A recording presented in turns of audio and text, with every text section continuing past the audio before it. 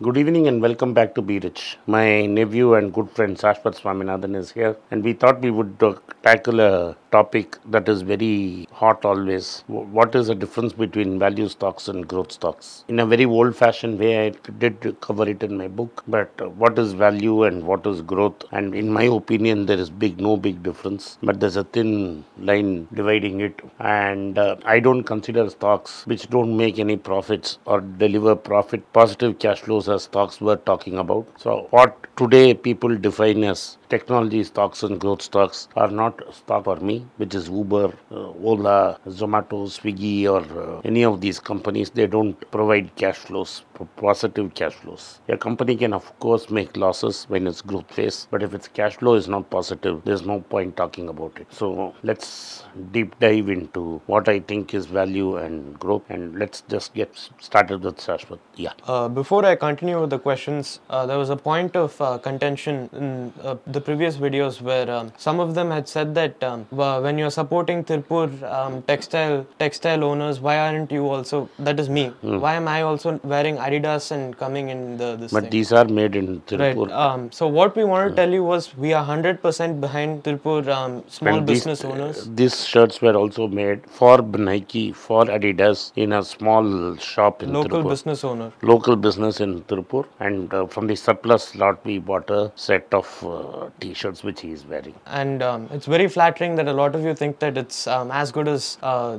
the brand branded ones and um, we really- also want to say that um, please support these businesses and we are pu- putting our full force behind them Yes, and this is indeed made there from a lot which was supplied to Nike. Some of it which was left over he is what wearing today, and some of the leftover lot from Adidas what was what he was wearing. So it is from the same shop which makes these t-shirts. anyway, anyway. going forward, let's uh, discuss between value and uh, Growth. growth. So the first question, or rather, I want to give you a few data points as I always do. Um, so I, I want to look at USA because our scope in this channel is USA and international stocks. So the Russell Value Index is something which most investors and mutual funds treat as this um, collection of value stocks generally agreed upon by um, the greats. So an interesting thing is that um, while looking at data online, I, I found a chart which which charted the Rus- Russell Value PE um, according to the Russell Growth PE. So ratio between the two, and um, the current ratio is 0.6, whereas the long-term average has been 0.8. So there's a clear um, the that is value stocks look ki- kind of attractive right now in terms of the PE the PE ratio. Yes,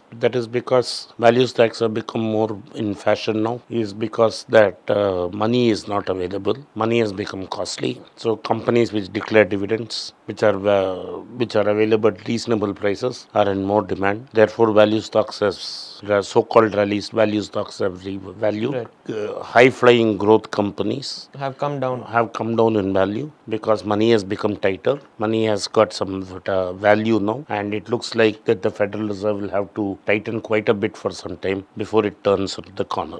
Right. Um, so we always talk about this concept of reversion to the mean. So if you look at the reversion to the mean concept, uh, the current ratio is 0.6 between Russell value PE and Russell growth PE, and the long-term average has been 0.8. So what that indicator at least tells me is that if there is a reversal re- reversion to the mean, um, we have some money to make uh, backing value stocks. There is a lot of money to be made backing value stocks over a long time. What may be value to you, maybe be. group may not be value to me. But you have to remember what you consider value. Coca Coke is considered as value, I think, today. Yeah. For a long time, for nearly 20 years, Buffett waited to buy Coke. Yes. because he wanted the right valuations. So the line is very thin between what is value and what is Growth. growth. I would look at it from an Indian point of view, which is what I have done. Companies which can sell their stocks and use it as currency to raise more money, That is growth. that is growth. And country companies which are forced to borrow Right. Right. are forced to borrow to expand are value. Let me take two examples in the same family. That is TCS or Titan, can issue currency. That is the Stock as currency, and uh, you do a QIP issue to raise money to fund their growth needs. Whereas Tata Steel and Tata Motors had to borrow money to grow. Right. Now, of course, Tata Motors has moved into electric vehicle, where that particular division is now being treated as a growth stock by the market. Right. So within the group, if the business has a fancy of a owner, the market, it is treated as value because its currency is treated as stock is Treated as currency. When the market does not have a fancy for it, it it becomes value. I remember Tata struggling twice to put out a Rights issue. rights issue for Tata Steel and a rights issue for Tata Motors. Motors. And they did a rights issue for Indian Hotel. But they don't will never do a rights issue for TCS. TCS. Titan was one time in serious trouble, but now it's become a cash Cash machine. cash machine and they will never do a rights issue for Right. Titan. So within the group, two sets of businesses have become divergently apart. Right. Where one has become growth and value. And also I look at it within Tata Motors, commercial vehicle and cars are not considered as growth. Right. But EV is considered as growth. Growth. So a lot of this definition depends on what the Perspective. perspective of the Investor is. investor is. Microsoft is considered growth Yes. because they bought uh, LinkedIn. They have now gone bought Activision Blizzard. They have gone into cloud. They have rejigged the business. Yes. And now they are looking at what the market wants. Yeah. A older company, equally powerful. Intel concentrated on rewarding investors. At times, even borrowed money to Reward investors. reward investors. Missed the bus. Like even Microsoft missed the bus in Mobile phone. Mobile phones. Even Intel missed the bus in mobile phones. For all the cloud farms, the servers run on Intel chips. Right. But Intel never made it. The market did not like what Intel did. Yeah. And so Intel is a Out value stock today, out of favor value stock. Right. It is quite possible now uh, Intel is concentrating on depth. Instead of buying more chips, they are now looking at in depth going in bringing back their fabs into the united states and they are going to working on supply chain so maybe under this new guy So vertical expansion. vertical expansion, Intel may look better. Even within chips, Broadcom and uh, Nvidia, Nvidia were considered growth, whereas Intel was considered stodgy. Yeah. But some of it may be true that technologically uh, Intel has not made what it should have been making. Yeah. But the truth is, Apple is treated like a value stock. Yes. But I don't see any new big hit from Apple in the last 20 years. After the iPhone, Value stock. uh, sorry, iPhone is stock. Apple is treated as a growth stock. Yeah. But it is yeah, after the iPhone, they have not had a major hit So how come Buffett saw something in it and decided to take ownership? because he want he saw that as a consumer franchisee. Okay. He saw Apple as a why Apple. He didn't see it as a computer company. Right. He saw it as a company which makes which has only 20% of the market and makes 80% of the profits. Apple uh, iPhones does is not the largest selling phone. It operates maybe 25 to 30% of the market. Google controls 70% of the market. Android. Android. But Apple takes most of the profits. Right. So he saw a moat. He saw a moat and he saw a consumer franchisee. Okay. So So yes, same the eye, the beauty lies in the eye of the beholder. Yeah. You can look at it either this way or you can look at the other way.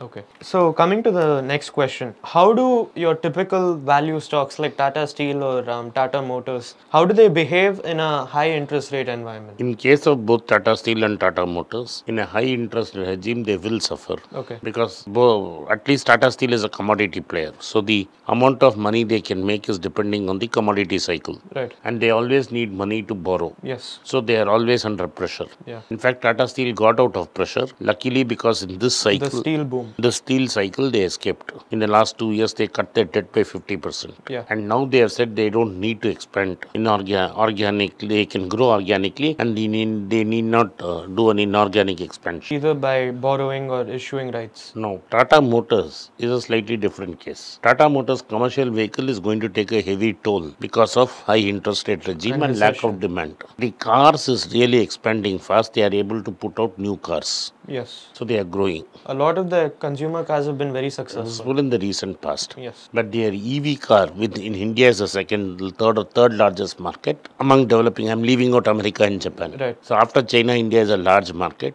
And the electric car at that price, nobody has made so far. They have sold 10,000 cars. That's a substantial number to do test In marketing. EV, yeah. They have sold 10,000 cars. They hope to sell 50,000 cars and then move it to 1 lakh cars. So that's why a uh, fund has valued that division at $10 billion and has invested some money for 10% stake. They have given them 8,000 crores for a 10% stake. So basically, it's a company valued in two different parts. And then there's a third part, which is a luxury company, which is now doing not doing well for last three years. JLR. JLR. But once the market opens up, JLR will do well. Right. So Tata Motors is going to suffer because of high interest rates in cars and LCVs, but they are going to do well in power if they get their act together, and they are going to do well in JLR. So, um, from what, from how I see it, JLR is basically a high elasticity product. Yes, So, as income increases, the demand for JLR will increase. increase. Yes, and the current situation is the richer lot of people have done better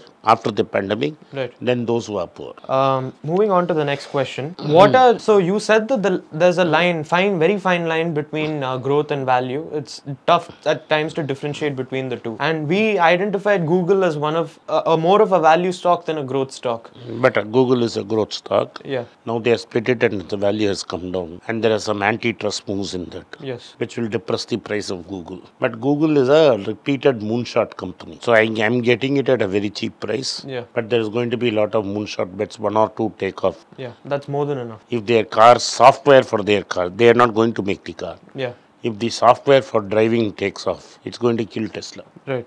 So on that note, uh, what are one or two fact? Not you don't have to go too much into detail, but one or two factors which hundred percent or not hundred percent, but in a large in a large manner will tell you whether one is a value or a growth stock. See, growth stocks normally tend to have very high growth in sales. So you have to look at price to sales ratio. Their sales continue to grow at breathtaking pace. Like what I told you in Tata Motors electric vehicle, 10,000 last year, 50,000 next this, this current year, Right. and 1 lakh the next year. So that's a breakneck pace of growth. So companies which continue to grow so fast, That's so they tend to be valued five years from now. Okay. That is why the Indian private sector banks were always treated as growth stocks. They were uh, trading at four to five times their books, So the discount rate is actually pretty high. pretty high. Where uh, you look, you have to discount it. What the investors are doing, they are very confident about the future, Right. and they tend to discount five years into the future. Yeah. In value stocks, we are not very sure. We are defensive. You would like to discount the last 12 months earning. Yeah. You don't know what the next 12 months is going to do. By temperament, and because it- there are people who do very well in Growth. growth, but by temperament, I'm a very defensive Player. player, extremely defensive player. More of a Wellington than a Napoleon. Uh, okay, more of a Wellington than Napoleon. Yeah. I want to survive, so I don't go for fancy growth, Growth stocks, stocks. at valuations. Couple of times I throw the bat. One time which I thrown the bat recently is Natco Pharma, which because of one bad quarter corrected enormously. Yeah. And I pounced. Even when I pounced, the P by ratio was extremely high. But I bought it for a reason because I've been tracking it for a long time. And um, one of the in, one interesting um, I recently come upon was um, because when we bought Thangamayil, we didn't. I mean, we we thought that there was some value in the company, but then after talking to the owner, It has become, it's actually a, a growth stock. Yes. I was shocked. I was shocked. Yeah. Anyway, um, moving. That's on. why Yeah. the scuttlebutt technique of Peter uh, Phil Fisher is very important. You have to. We are not big enough to talk to the owners yet, but you have to talk to the owners. To really get a feel of what the company feel. is doing. ITC was a value stock, Yeah. which went really well. Yeah. Um, okay. And then uh, coming down to the next question, uh, why has the U.S. market rallied recently? I think they expect a recession for the wrong reason. I expect they expect a recession, so I, they think the Fed will stop because the Fed has habituated them till Right. 20 years. They expect 3.5 or in that bound ballpark. and, and to stop. And now the rumors have spread that uh, Fed will be dovish on 26th because recession charges chances are very high. Right. And they will not go beyond one percent. They will not go to one It is quite possible. But if the market senses, if this is what the market senses, Yeah. if this is what market senses, this is what people will senses. People will sense. And like I've always told you, and since Edward Phelps, a Nobel laureate demonstrated, expectations are more important than reality. So it's a narrative. It's a narrative. If they take the foot of the gas pedal, inflation will get more entrenched. Actually, I will be more worried if they go to with a 0.75, not because they have chickened out. It means that they are not serious about inflation, and inflation is indeed going to be a serious problem down the line. Right. Okay. And um, finally, you can quickly touch upon this. Uh, how do you, I mean, you play mainly in India. So, how do you find value stocks to be in India compared to the US? I have just moved into US stocks. So I don't have the Breadth of analysis. breadth in of US. analysis in US stocks. Yeah. But somebody like Guy Spier is doing well. He's doing pretty well. Yes. So he, there must be a lot of value stocks. In the American universe, the compliance is far better, the trust on numbers is far better, and uh, the regulation is tighter, and uh, violations are criminal in nature. So how does that factor into? In India, except in the top 200 companies, Yeah. I don't know whether the book is honest or not. Okay, that's an important point because value is all based upon the book. On the book, I do not know whether the book is honest. So even with a 60% margin of safety, you might have 0% margin of safety. Yes. So it, the Phil Fisher's principle that the promoter is important Yeah. has more value in Indian situation. So promoters have a precedent over whatever, uh, what else the book says I never bought Zee, though it was the largest television because of the promoter. because of the promoter till Sony took over. Right now, Sony took Took over. over. So when s- I started buying only after Sony Came in. came in because Sony is an international company, cannot afford to cheat. Right. But this fellow is a crook in terms of being a business guy. Yes. So he, doing all sorts of shady deals. So I never bought it. So the importance you give to a promoter is extremely important in India than to than in US. Yeah. I would trust what I see in a Godrej balance sheet. I would see what I trust in a Tata balance sheet. I would trust what I see in a TVS balance sheet. I because they worry The about their. I worry about they worry about their names. Yeah. I would trust what I see in a Murugappa balance sheet. I know Ramesh, so I will see I trust what Ramesh does with In Thangamayil. in Thangamayil. If I don't trust the promoter, Then there's no point there the no books. point. And so in India, except in the top 200 companies, books are cooked. And this is why the Indian market values MNC stocks extremely high Okay. because they ha- they have to put money somewhere, and that's why it is there. So IT was ITC was an aberration when we found it so cheap.